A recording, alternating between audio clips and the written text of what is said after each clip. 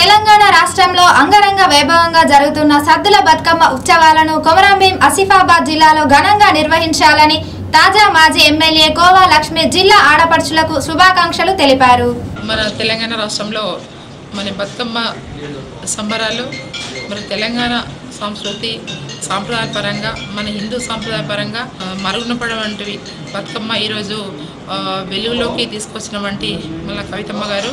ఎందుకంటే బతుకమ్మ అంటే మనం అందరూ కూడా ఒక సాంప్రదాయపరంగా మరి ఒక దిక్కేమో మన గౌరమ్మ మనం పెట్టుకొని మరి ఒక దిక్కు దుర్గాదేవులు మనము పెట్టుకొని ఇటేమో మనం బతుకమ్మలు ఆడుతున్నాం కాబట్టి నిజంగా ఈ దుర్గాదేవి నవరాత్రులలో మరి ఈరోజు మేము ప్రతి వాడవాడ కూడా బతుకమ్మలు ఆడడం అనేది మన తెలంగాణ సాంప్రదాయ పరంగా మరి అవిటిని మరుగున పడిన వంటి బతుకమ్మల్ని వెలుగులోకి తీసుకొచ్చిన వంటి మరి కవితమ్మ గారికి మరి ఆమె కూడా మేము శుభాకాంక్షలు తెలియజేస్తూ మా తరపున మా మా నియోజకవర్గ మహిళల తరపున అట్లనే మా మహిళా సోదరులందరూ కూడా చాలా చక్కగా బతుకమ్మలందరూ కూడా పేరుస్తూ మరి గౌరమ్మ పేరుస్తూ మరి అందరూ కూడా అన్ని ఇళ్ళలో ఇళ్ళల్లో వాకిళ్ళల్లో మరి బతుకమ్మ సంబరాలు చేయడం అనేది నిజంగా చాలా మంచి సాంప్రదాయం కాబట్టి ఇంకింకా ముందు కూడా బతుకమ్మ ఈరోజు ఎక్కడ చూసినా కూడా ఈ ఈ రోజు నుంచి ప్రారంభించుతున్నారు కాబట్టి ఈరోజు అమావాస్య చుక్కల అమావాస్య నుంచి ప్రారంభిస్తున్నారు. తొమ్మిది రోజులు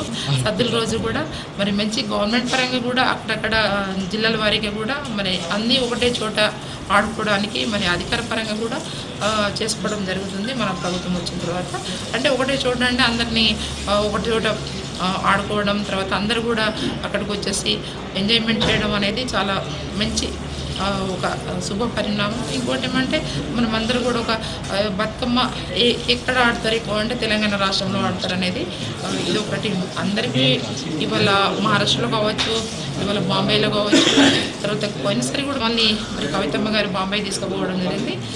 తీసుకుపోయిన తర్వాత మేము అనుకున్నాం ఈ బాంబేలో ఆడతారు బతుకమ్మన్నాం. కానీ అక్కడ కూడా చాలా చక్కగా వాళ్ళ సాంప్రదాయపరంగా చాలా చక్కగా బతుకమ్మ పేర్చి మరి వాళ్ళు కూడా బతుకమ్మలు ఆడడం జరుగుతుంది. అమెరికాలో కానీ తర్వాత లండన్లో కానీ బతుకమ్మ పండుగ అనేది అంటే ప్రతి ఒక్కరు కూడా ఒక మా తెలుగు సాంప్రదాయపరంగా బతుకమ్మలు ఆడుతున్నారు.